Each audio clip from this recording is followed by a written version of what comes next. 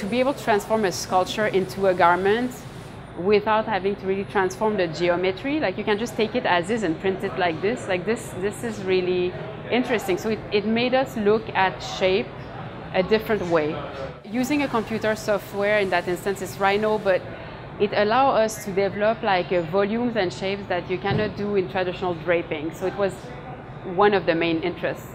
The other very important part for us. Like how can you distort the weaving? You can do plain weave, you can do jacquards, and suddenly like you can also add almost like a third dimension to weaving with like moments where you tell your thread like to sort of like mess up the weaving. For us it was very interesting. It, it became very poetic and unusual.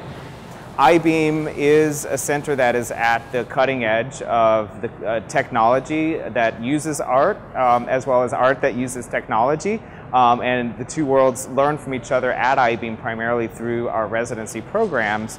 Um, and the computational fashion initiative is certainly in line with that larger mission of Eyebeam and what we see around us today is the outcome of not just this most recent master classes work but Eyebeam's development of this program over the last years.